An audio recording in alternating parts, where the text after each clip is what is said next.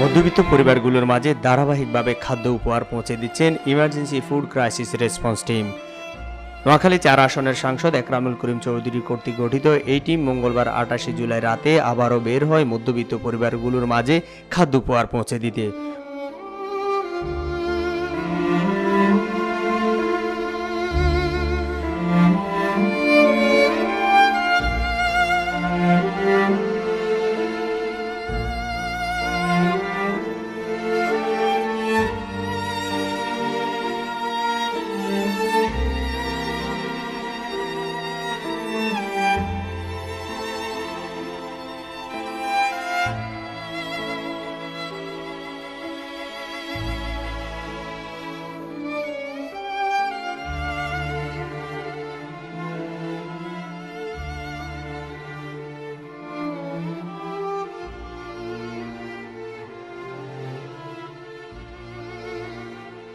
আসন্ন পবিত্র ঈদুল আজহাকে সামনে রেখে এই বিশেষ খাদ্য উপহার পৌঁছানো হয়।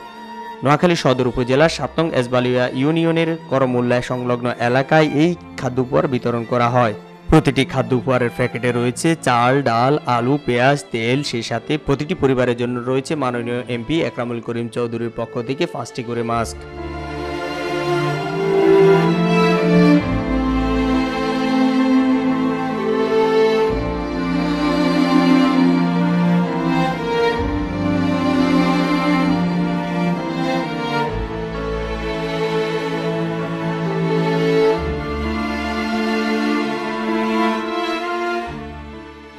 বৃষ্টি জল কাদামাটি ডিঙিয়ে ক্লান্তিহীনভাবে সন্ধ্যা সাতটা থেকে রাত দশটা তিরিশ মিনিট পর্যন্ত ইমার্জেন্সি ফুড ক্রাইসিস রেসপন্স টিমের সদস্যরা এই খাদ্য উপহার বিতরণ করেন।